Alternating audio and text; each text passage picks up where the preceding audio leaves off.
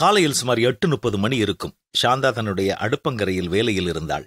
திடீரென முன் அறை கதவு திறக்கப்பட அவளுடைய மூத்த மகள் ஒரு கையில் பூங்குத்தோடு வீட்டிற்கு உள்ளே நுழைந்தாள். கடந்த மூன்று மாதங்களுக்கு முன்னர் தான் அவளுக்கு திருமணம் செய்து கொடுத்திருந்தார்கள். அவள் வீட்டை விட்டு போய்விட்டாள் என்பது கூட சாந்தாவின் மனதில் இன்னமும் ஆழமாய் பதியவில்லை. பல நேரங்களில் மறந்து போய் அவளுக்கும் சேர்த்து மேசையிலே பிளேட் எடுத்து வைப்பாள். உள்ளே வந்த மகள் அம்மாவினுடைய கையில் கொண்டு வந்த பூச்சண்டை கொடுத்துவிட்டு வீட்டு ரெஃப்ரிஜரேட்டர் திறந்து என்னென்ன இருக்கிறது என்பதை ஆராயத் தொடங்கினாள்.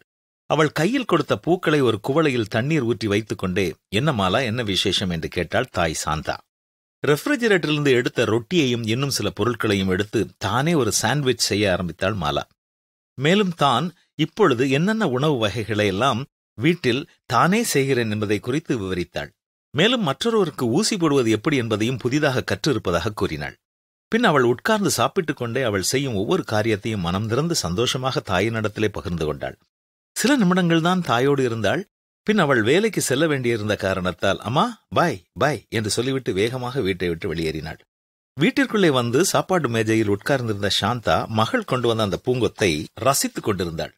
ஆம் என் மகள் வந்து என்னோடு இருந்தது சில நிமிடங்கள் தான். ஆனால் அது எனக்கு எவ்வளவு சந்தோஷத்தை கொடுக்கிறது என்று அவள் நினைத்துக் கொண்டிருந்த போதே சாந்தாவின் தாயின் எண்ணம் சாந்தாவுக்கு வந்தது. அவர்கள் பல நூறு மைல்களுக்கு அப்பால் இருந்தார்கள். ஆனால் சாந்தா உடனடியாக தன் தொலைபேசியை எடுத்து தாயை அழைத்தாள். சில நிமிடங்கள் தாயோடு தன் வீட்டின் பல காரியங்களை பகிர்ந்து கொண்டாள். இறுதியாக தாய் சொன்ன வார்த்தைகள் சாந்தாவின் உள்ளத்தில் அன்று பகல் முழுவதும் எதிரொலித்துக் கொண்டே இருந்தது. அப்படி அவள் என்ன சொன்னார்கள்?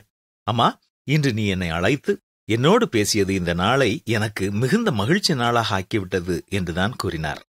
ஆம் அன்பர்களே நமது தாயோ தகப்பனோ தூரமான இடத்தில் இருப்பார்கள் என்றாலும் அவர்களோடு தொடர்பு கொண்டு சில நிமிடங்களாவது நீங்கள் பேசினாலும் அது அவர்களை உற்சாகப்படுத்தும் என்பதை மறந்து போக வேண்டாம். அவர்களுக்கு நீங்கள் அதிக பணம் கொடுக்கவில்லை என்றாலும் அவ்வப்பொழுது சில நிமிடங்களை நீங்கள் கொடுப்பது அவர்களுக்கு உற்சாகத்தையும் ஊக்கத்தையும் கொடுக்கும் என்பதில் சந்தேகமில்லை.